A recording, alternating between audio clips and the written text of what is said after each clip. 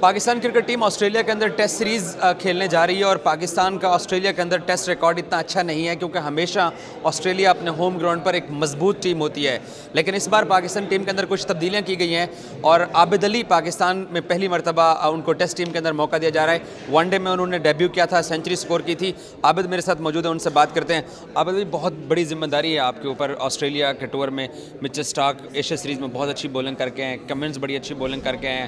Over all Australian team ہمیشہ اچھی رہی ہے۔ تو کتنا بڑا چیلنج آپ اس کو لے رہے ہیں اور آپ آپ کو سب لوگ دیکھنا بھی چاہ رہے ہوں گے کہ عابد وہاں کیا کرتے ہیں۔ سب سے پہلے تو میں اللہ تعالیٰ کا شکریہ ادا کرتا ہوں، شکر اللہ کا۔ اور میرا ٹیسٹ سیریز میں نام آیا۔ باقی چیلنج تو کوئی نہیں ہے، میرا کام ہے بولر کو کھیلنا۔ اور جون سا بھی ان کی بیسٹ بالنگ ہے کنڈیشن ان کی ہوں گی۔ تو میرا کام ہے کوشش کرنا۔ میں پریکٹس کر کے جا رہا ہوں اور پریکٹس کی ہے اور انشاءاللہ وہاں کرتا رہوں گا۔ اور کوشش یہی کروں گا کہ اچھا رزلٹ دوں، اپنے آپ کو پازیٹیو رکھ کے، جیسے میں پازیٹیو کرکٹ کھیلتا آ رہا ہوں۔ تو میں کوشش کر سکتا ہوں رزلٹ اللہ کے ہاتھ میں ہے، تو میں اپنا ہنڈریڈ پرسینٹ ضرور دوں گا۔ آپ ایک سو سے زائد آپ نے فرسٹ کلاس میچز کھیلے ہیں، اٹھارہ سینچری ہیں، آپ کی انتالیس کے قریب ایوریج ہے۔ کسی بھی بیٹسمین کے لیے شاید یہ ایکسپیرینس کافی ہوتا ہے کہ بڑی سائڈ کا مقابلہ کرنے کے لیے۔ اپنا جو جو فرسٹ کلاس کا تجربہ ہے، آپ کو کتنا مدد دے گا آسٹریلیا میں؟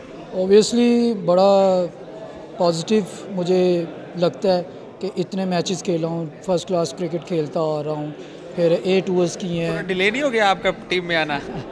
یہ تو اللہ تعالیٰ کا اللہ تعالیٰ کی طرف سے ہے۔ جیسے بھی جتنا بھی مجھے ملنا ہے تو اس میں میں یہ نہیں کہہ سکتا کہ میں ڈیلے ہو گیا۔ جب میرا پاکستانی کرکٹرز کہتے ہیں سلیکٹرز کی مرضی۔ نہیں ایکچولی میں یہی کہتا ہوں میں اپنے بارے میں یہی کہتا ہوں۔ جب میرا وقت مقرر تھا تو اللہ تعالیٰ نے اس وقت ہی مجھے دینا تھا۔ اگر نہیں تھا تو اس میں میں کسی کو گلا نہیں کروں گا۔ اور میرا یہی ہے کہ جب میں اپنے آپ کو پازیٹیو ہی رکھتا ہوں، کوشش یہی کرتا ہوں، جب میرا وقت تھا تو میں اس کو اللہ تعالیٰ نے مجھے عزت دی اور سب کے سامنے ہی ہے اور سب کی امید بڑھ گئی ہے۔ تو اسی امید کے ساتھ ہی جا رہا ہوں۔ دعائیں سب سے درخواست بھی کروں گا کہ دعا کیجیے گا پاکستان ٹیم کے لیے، میرے لیے کیجیے گا۔ کہ اپرچونٹی ایک ملی ہے۔ ایک فرینکلی سوال میں ذہن میں آ رہا ہے عابد علی کا ٹی ٹوینٹی والا مزاج ہے؟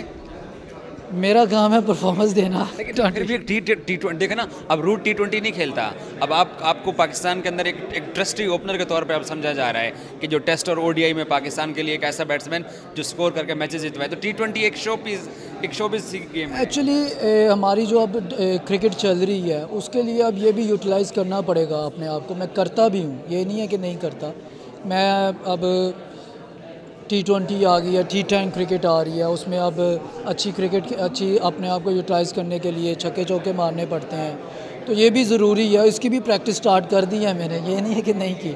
تو یہی ہے کہ کوشش کر رہا ہوں۔ اگر میرے نصیب میں وہ بھی ہے تو میں کوشش کر سکتا ہوں۔ تو یہی ہے کہ اپنے آپ کو بہت پازیٹیو رکھوں گا۔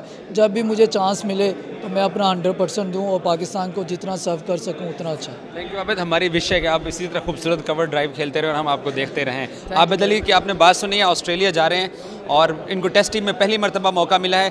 ان کے اوپر بھی بھاری ذمہ داری آیا ہے کہ یہ کیا کرتے ہیں اور فینس فینس بھی انتظار کر رہے ہیں کہ عابد علی کو وہ دیکھنا چاہتے ہیں آسٹریلیا میں۔